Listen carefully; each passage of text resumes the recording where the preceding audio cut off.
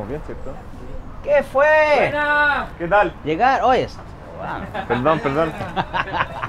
Lo de siempre, lo de siempre. ¿Qué onda? ¿Cómo estáis? Avanti. Permiso. ¿Cómo estáis, Rafa? ¿Qué tal? Bien, ¿y tú? Permiso. Adelante, adelante. Bienvenidos. Cristal. Vamos, vamos, vamos. ¿Todo bien? Bienvenido. Adelante, están en su Gracias. Casa. Hola. ¿Cómo estamos, ¿Qué tal? Bien, ¿y usted? Permiso, permiso. Adelante, en su casa. Pasen, pasen. Ella Aruma, mi hermana. Mucho gusto. pasen, pasen. Vamos. Avanti.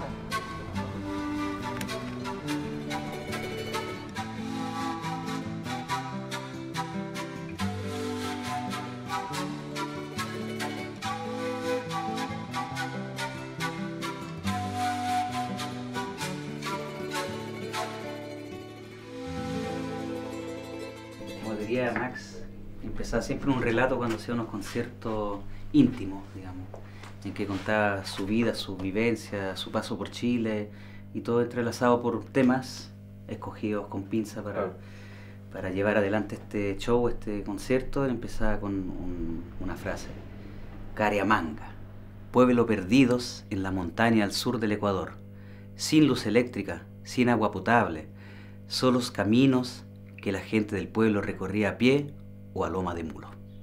Ahí nací un 5 de junio de 1942 y cuando nací la partera se sorprendió y dijo, esta guagua no llora, esta guagua canta.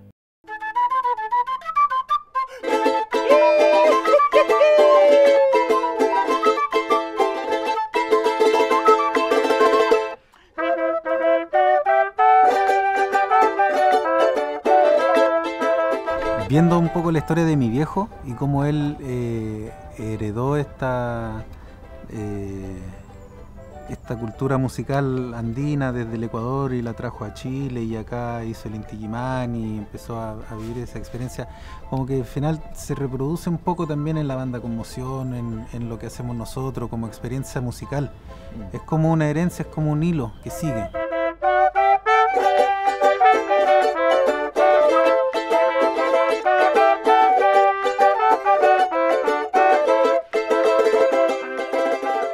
Cariamanga está en la sierra, ¿no? De- Cariamanga está en la sierra, la sí. sierra.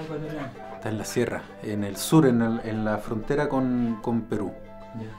Está mm, en provincia de Loja. Loja es la provincia de la ciudad más grande de, de la provincia de Loja. Y Caremanga es un pueblito que queda al sur de Loja, más hacia la frontera.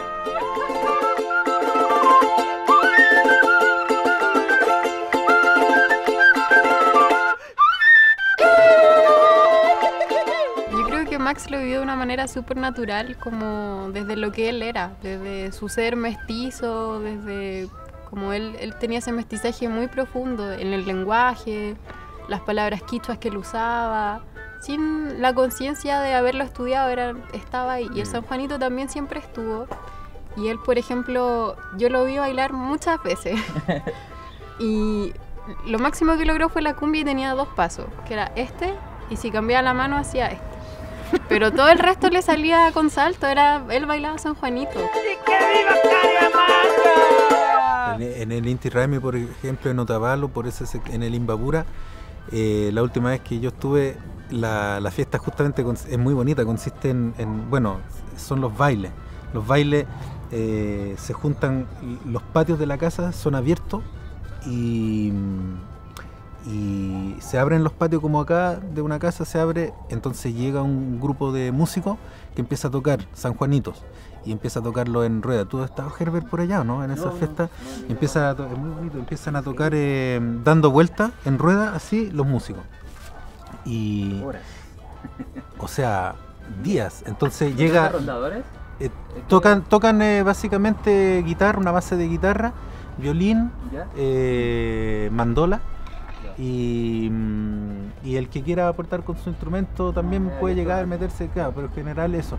Y entonces el, el- cuando empiezan a tocar, llega a sumarse la gente que quiere, entra y se une a ese grupo de músicos y empiezan a, a dar vueltas en, en círculo siempre, sin parar. Entonces al medio están los músicos dando vueltas y alrededor de los músicos está la gente que, que baila junto a los músicos. Entonces ahí la casa sirve trago, comida y de ahí ellos, los músicos se salen de ese patio y entran a otro patio de otra casa donde siguen tocando y te sirven trago y comida y así varios se forman varios grupos de, de músicos que siempre tocan en rueda y se desplazan de, de casa en casa. Entonces todas las casas son abiertas y reciben a un grupo de músicos y a veces se juntan dos músicos eh, dos grupos de músicos, entonces, eh, y el que canta más fuerte y trae más gente gana, entonces el otro se tiene que ir, claro.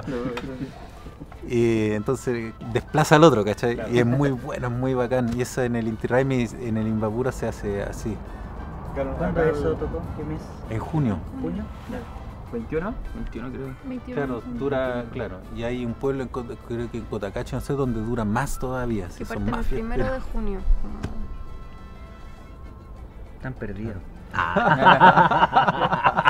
La caña de tres meses. sí. No, sí, una caña de tres meses, claro. Tienen que recuperarse. acá, claro, aquí estamos- o menos. estuvimos- Estuvimos participando como banda en, en lo que fue la Nata, la fiesta de la Nata acá en Santiago 2019 y el contexto es, es casi el mismo.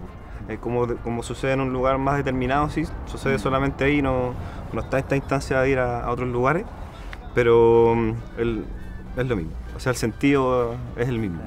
Y nosotros también lo queremos relacionar con, con todo esto que tiene que ver con esta comunidad, esta comunidad musical cultural Claro. que, que como ustedes decían delante, eh, a través de lo que Max también fue haciendo con ustedes, que es la trascendencia eh, que va quedando musical cultural. Bacán, gracias por la invitación. Bacán, chiquillos. No, gracias por, por, bueno, por abrirnos su espacio, su casa, la Sí, casa de Max, invitarnos acá. Sí, cuando su- quieran. su tesoro y- Hubiese estado muy contento, Max, de, Sí. de tenerlos acá. No, gracias a Sí, bacán. gracias a ustedes. Nosotros estamos tratando de mantener nomás el legado cultural que han hecho todas estas personas, entre ellos Max.